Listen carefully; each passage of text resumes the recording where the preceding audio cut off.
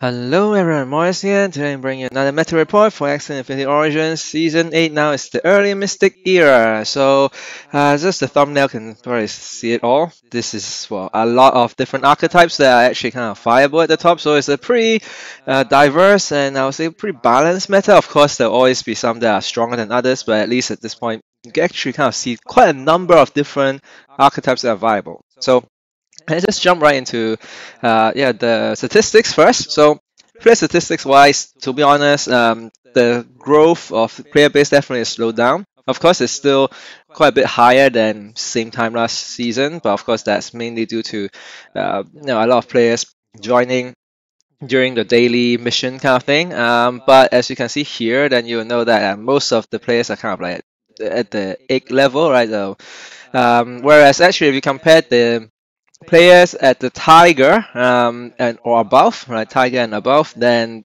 actually in the numbers is pretty similar to last season. So in that sense, the players who actually get to Tiger is uh, pretty similar. There's more players at the bottom. Um, and so that's basically the effect of the uh, data mission. Uh, that's how I see it.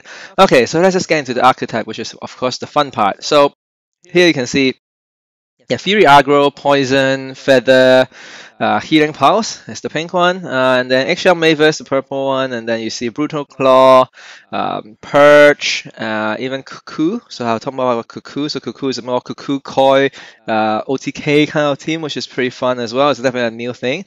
So of course, with this new Mystic era, I say new Mystic era is because there's quite a lot of new runes uh, being introduced of Mystic runes. So of course, then there'll be yeah, definitely more fun because there are more combinations. There's more yeah, just more like uh, different ways you can build teams, just because there are more Mystic runes. Uh, for example, I would say Healing Pulse, of course, has been nerfed pretty hard, but it's still pretty viable, and then that's because of the new like the bird rune like, that give you the summons. I think it's called the flock something. I forgot, but yeah, so that one.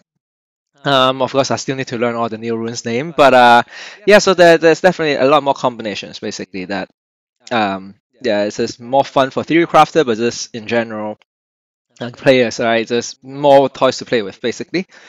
Uh, yeah, so that's basically like the meta. Um, you can see like pretty diverse, pretty much all across the board. Of course, there will be some archetypes that are harder to get to the top, right? For example, Anemone would be one that's pretty hard to compete at the top. Like Jinx is probably also falling down, and of course, like you have to go further down to find things like Leafy, etc. Right? Um, but still, um, all of these are at least able to get to challenger. Let's just put it that way. Okay, so let's just look at the win rate. Um, and here we'll see um, that actually I would say Fury Aggro, um, Poison, I think it's basically the top three. Okay, I'll just show you here. Right, Fury Aggro, Poison, Feather, Healing Pulse. Those are the top four at the time of writing, but actually, to be honest, like Brutal Claw, Purge, Eggshell Mavis, Cuckoo, all of these are also kind of rising up. So of course, at this point in time, only a few players has got to above uh, 2,400 victory stars. Of course, as time goes by, I feel like at least all the eight archetypes that I mentioned will be represented in some way, definitely at the top like 50 or top 100 at least, right? So, um, yeah, so that's basically the meta. It's pretty diverse. Of course, you can see that, as I said, Jinx, Anemone, like Sando, and a lot of other teams are yeah, slowly dropping off, unfortunately. But yeah, that I mean, still, like having at least eight different archetypes that are fighting, have the potential to fight at the top is is pretty new. Let's put it that way, compared to let's say last season.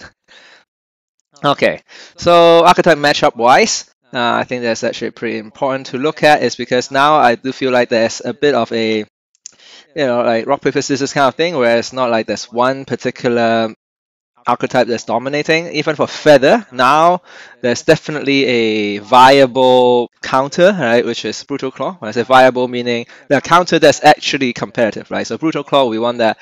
Yeah, of course, the bleed is, is hurts the Feather daggers a lot, right? So that's why it's a lot tougher for Feather to play against Bleed. Uh, when I say Bleed, basically Brutal Claw. Um, and then I guess that one thing that I would mention is like um, the cuckoo, which is actually the well, I'll call it a new archetype, right? It's a cuckoo koi. Uh, you stack a lot of cuckoo on like the koi uh, and then you just deal a lot of splash damage, basically on an OTK kind of thing. Um, and it's actually like like getting quite viable. Not a lot of players are playing it yet, and well, one of the reasons is actually that not a lot of axies like like uh, optimal axies. Even the players at the very top, then the axies are not optimal, right? Um, so yeah, different people have different setup at this point. Um, yeah, but yes, it's definitely something that to be optimized. But you can see the matchup is actually pretty good. Uh, I would say except against Purge. Purge is uh, can be a bit too fast, but um, yeah, with the optimization that probably can be overcome. But I think Healing Pulse is probably one of the toughest one to play against, is because usually Cuckoo uh, Koi has like uh, one single um, carry, right, which where you stack a lot of cocoon and then you know play the koi. But then of course healing pulse ignoring taunt, or meaning you know the the, reverse heal ignoring taunt, can just kill off the uh, the carry easier. So maybe you have to tag like last stand or something on the you know um, Mac with the Cuckoo coins, uh, with the koi basically, but uh, not a lot is available on the market, I must say. So yeah. Um, okay, so that, that that's basically the new one that I want to talk about. Of course, okay, the other one I should talk about is Healing Pulse. So Healing Pulse, of course, um, no, last season is pretty crazy.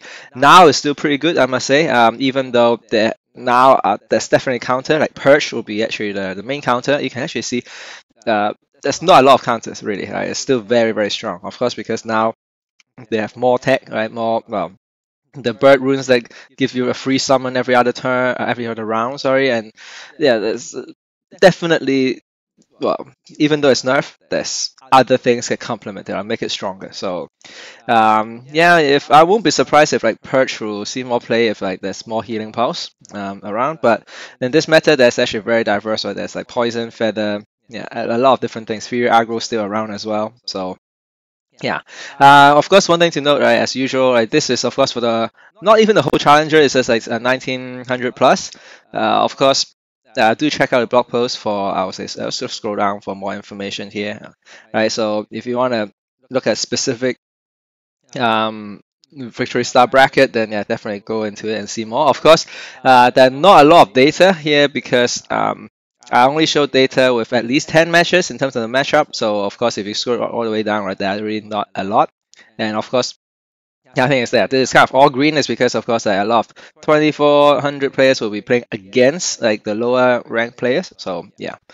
Um, so keep that in mind. Um, but yeah, so that's I think pretty much it for the data. So do check out um, the blog post out, and I'll see you in the next video.